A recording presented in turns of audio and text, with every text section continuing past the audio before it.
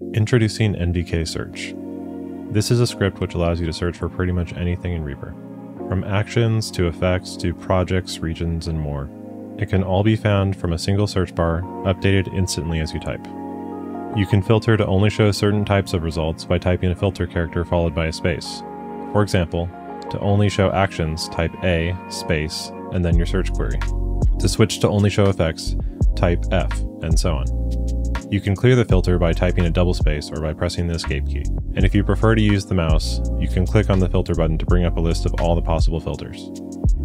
Once you have found what you are looking for, you can navigate to the result you want with the arrow keys and press enter or just double click directly on the result. By default, effects are added to either items or tracks depending on your last selection. The current targets are displayed in the status bar at the top of the window. You can also drag and drop effects onto a specific tracker item.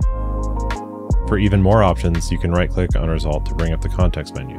Here you can add the result to your favorites, so that it is sorted to the top of the list when you search. And the feature I'm personally most excited about is the ability to copy action commands. This generates pre-formatted Lua code, which can be pasted into a script to run the action.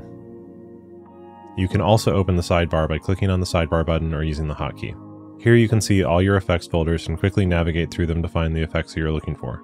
And below that, you can create custom folders for NVK Search. These folders can contain anything you want, not just effects. NVK Search allows you to completely customize your search experience. You can change the colors, fonts, and sizes of the UI elements and even save your own themes.